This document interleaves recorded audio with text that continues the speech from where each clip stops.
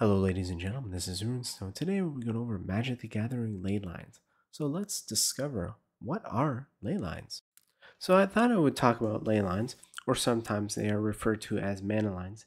These ancient paths are on every plane that crisscross the planes flowing with mana.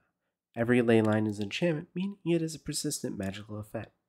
As ley lines are found on each plane, ley lines can be typically played right away without paying the mana cost with a steaming if the ley line of the quote unquote card is in your opening hand, you may begin the game with it on the battlefield. Some of those little interesting facts about ley lines on different planes, for example, Eldrazi are known to follow ley lines as they are ancient creatures who devour the mana in their endless hunger. On the plane of Zendikar, ley lines have been connected on the hedrons of the plane, which are ancient stone monoliths, which can be used as tools.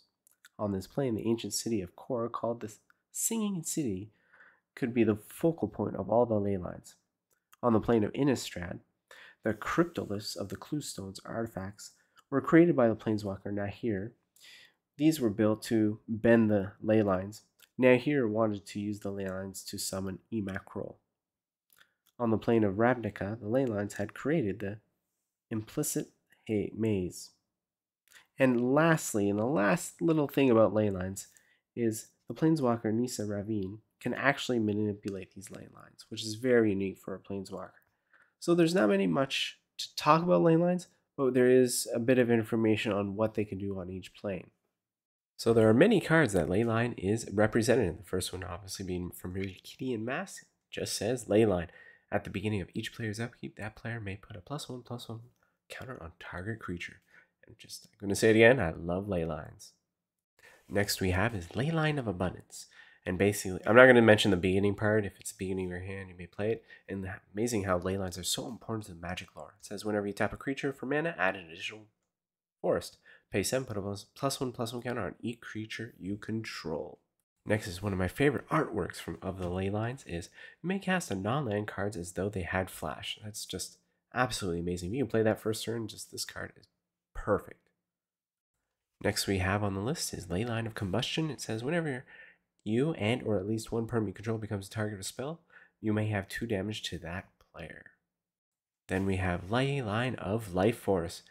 It says creature spells cannot be countered. Man, that would definitely destroy any blue deck. I just Look at the card too. I really like the artwork by Kev Walker. Then another ley line, which is called Ley Line of Lightning, says whenever you play a spell, you may pay one. If you do, it deals one damage to target player. Next is Ley Line of Punishment says players can't gain life, damage can't be prevented. So these are really good sideboards as well as good main cards as well.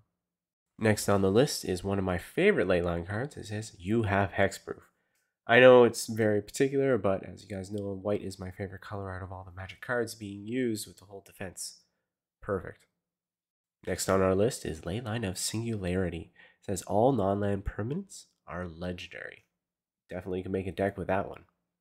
Next is Leyline of the Meek. It says creature tokens get plus one plus one, where strength and humility converge. Next we have is Leyline of the Void. It says if a card be put into an opponent's graveyard from anywhere, exile it instead. And that's pretty cool because it says opponent's graveyard. And last of the Leyline cards in all the Magic world at the time of this video is creatures you control get plus zero plus one. Whenever a creature enters the battlefield, you gain one life ley line of vitality. So there are a few cards that ley lines are associated with, not actually being ley line cards.